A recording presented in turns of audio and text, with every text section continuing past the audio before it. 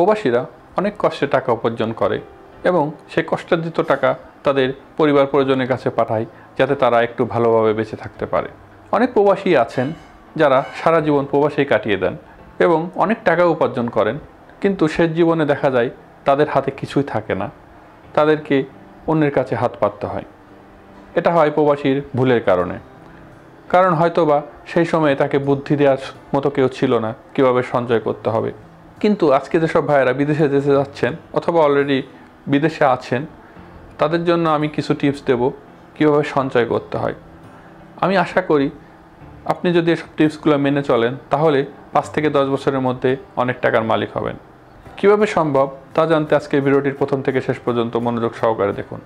Hello viewers welcome to my channel আমি রঞ্জয় দাস আর আপনারা দেখছেন আমার channel Ranjoy three sixty five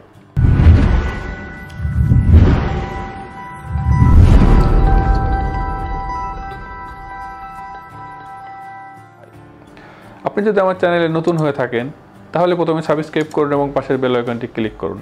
আর যদি ভিডিওটি ভালো লেগে থাকে, তাহলে লাইক এবং শেয়ার করুন। আর যদি অলরেডি সাবস্ক্রাইব করে থাকেন, তাহলে থ্যাংক ইউ সো মাচ যেসব ভাইয়েরা বিদেশে যাওয়ার জন্য অলরেডি ভিসা পেয়েছেন তাদের প্রথম কাজ হবে একটি ব্যাংক অ্যাকাউন্ট করে নেওয়া এবং সেই ব্যাংক অ্যাকাউন্টটি একটি বেসরকারি ব্যাংকে হলে ভালো হয়, যাদের ইন্টারনেট ব্যাংকিং সার্ভিস রয়েছে। ক্ষেত্রে আপনি ডাচ বাংলা ব্যাংকের একটি অ্যাকাউন্ট করে নিতে পারেন। কারণ ডাচ বাংলা ব্যাংকটি পুরোটাই অনলাইন এবং এর ইন্টারনেট ব্যাংকিং সার্ভিস রয়েছে এবং ডাচ বাংলা ব্যাংকের ইন্টারনেট ব্যাংকিং সার্ভিস পুরোটাই ফ্রি। ডাচ বাংলা ব্যাংকের ইন্টারনেট ব্যাংকিং সার্ভিস ব্যবহার করে আপনি বিদেশে বসেই ব্যাংকে অ্যাকাউন্টে লেনদেন দেখতে পাবেন।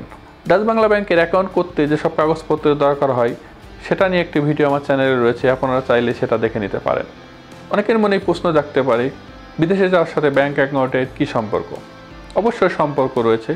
আপনি যদি ডিসিশন নেন যে আপনি সঞ্চয় করতে চান, তাহলে আপনাকে অবশ্যই একটি ব্যাঙ্ক অ্যাকাউন্ট খুলতে হবে। এবং একটি ব্যাঙ্ক অ্যাকাউন্ট খুলে আপনাকে একটি ডিপিএস করতে হবে। ডিপিএসের প্রথম ইনস্টলমেন্টের টাকা আপনি দেশে থাকা অবস্থায় দিয়ে যাবেন।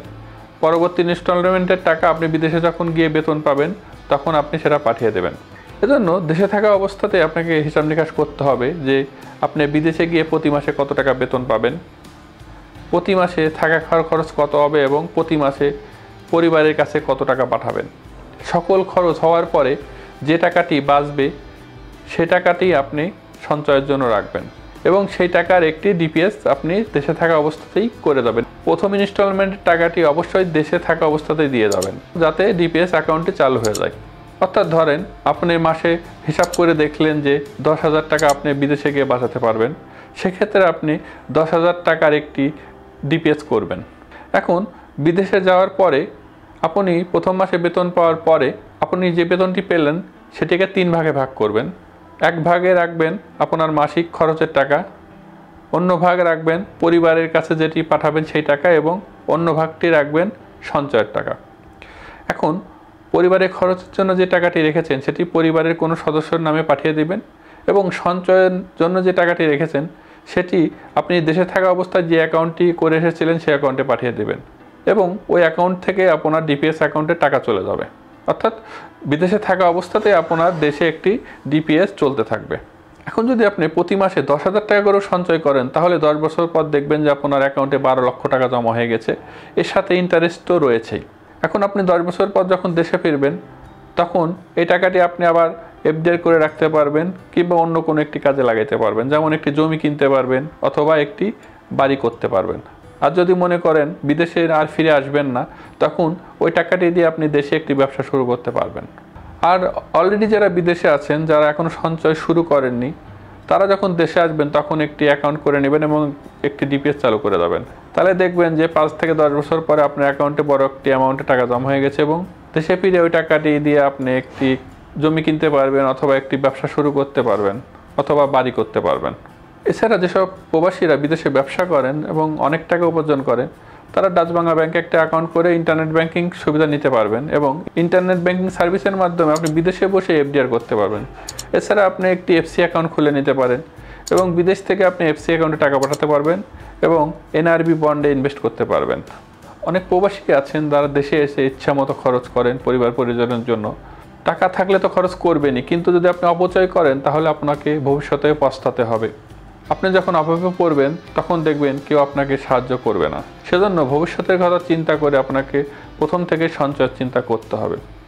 এছাড়া অনেক প্রবাসী আছেন যারা দেশে এসে ফটকা ব্যবসা বা প্রতিষ্ঠানে টাকা বিনিয়োগ করে এবং সকল টাকা হারিয়ে পথে বসে যায়। অল্প সময়ে অতিরিক্ত লাভের জন্য তারা এসব ফটকা ব্যবসা বা প্রতিষ্ঠানে বিনিয়োগ করে থাকে। আপনারা মনে রাখবেন, কখনোই দেশে এসে কারও কথা শুনে ফটকা ব্যবসা বা প্রতিষ্ঠানে বিনিয়োগ করবেন না। আপনারা চাইলে সঞ্চয়পত্র অথবা এফডিআই বিনিয়োগ করতে পারেন। এক্ষেত্রে আপনি মাসে মাসে বেশ কিছু টাকাও পাবেন এবং আপনাদের টাকাটি সুরক্ষিত থাকবে। অনেক প্রবাসী আছেন যারা হুন্ডির মাধ্যমে বিদেশ থেকে টাকা পাঠায়। আপনারা অবগত আছেন যে বাংলাদেশ গভর্নমেন্ট রেমিটেন্সে দুই পার্সেন্ট প্রণোদনা প্রদান করে থাকে। অর্থাৎ আপনি যদি এক লক্ষ টাকা রেমিটেন্স পাঠান, তাহলে দুই হাজার টাকা ইনসেন্টিভ পাবেন। সুতরাং এটা দেশেরও লাভ এবং আপনারও লাভ। এখন থেকে আপনারা চেষ্টা করবেন রেমিটেন্সের মাধ্যমে আপনার টাকাটি দেশে পাঠাতে। কারণ এখন কিন্তু দেশে ব্যাংকের কোনো অভাব নাই। এখন গ্রামে গঞ্জে অনেক ব্যাংকের শাখা পোশাখা এবং এজেন্ট ব্যাংকিং উপশাখা রয়েছে। আপনারা চাইলে সেসব ব্যাংকে খুব সহজেই টাকা পাঠাতে পারবেন। অর্থাৎ সামারাইজ করলে দাঁড়াই, যেসব ভাইরা অলরেডি ভিসা পেয়েছেন এবং বিদেশে যেতে যাচ্ছেন, তারা বিদেশে যাওয়ার পূর্বেই একটি ব্যাংক অ্যাকাউন্ট করে ডিপিএস করে যাবেন। যাতে বিদেশে গিয়ে সেই অ্যাকাউন্টে টাকা পাঠাতে পারবেন এবং পাঁচ থেকে দশ বছর পর দেখবেন যে আপনার সেই ডিপিএস অ্যাকাউন্টে একটি বড় অ্যামাউন্টের টাকা জমা হয়েছে। এবং দেশে ফিরে সেই টাকাটি আপনি বিভিন্ন কাজে লাগাইতে পারবেন, যেমন একটি জমি কিনতে পারবেন অথবা একটি বাড়ি করতে পারবেন। আর যারা অলরেডি বিদেশে আছেন, তারা যখন দেশে আসবেন, তখন একটি ব্যাঙ্ক অ্যাকাউন্ট করে একটি ডিপিএস করে যাবেন এবং এইভাবেই আপনারা টাকাটি সঞ্চয় করতে পারবেন। যেসব প্রবাসী ভাইয়েরা আমার ভিডিওটি দেখছেন, তারা কী ডিসিশন নিলেন? এখনই সঞ্চয় শুরু করবেন নাকি আরও অপেক্ষা করবেন?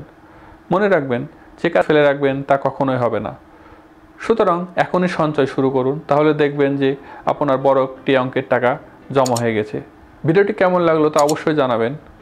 আর এরকম ভিডিও নিয়মিত আপডেট পেতে আমার চ্যানেলটি সাবস্ক্রাইব করে রাখবেন এবং বন্ধুদের মাঝে শেয়ার করবেন। আজ এই পর্যন্তই। সামনে আবার নতুন কোনো ভিডিও নিয়ে দেখা হবে। সে পর্যন্ত ভালো থাকবেন, সুস্থ থাকবেন এবং আমার চ্যানেলের সাথেই থাকবেন। Bye bye.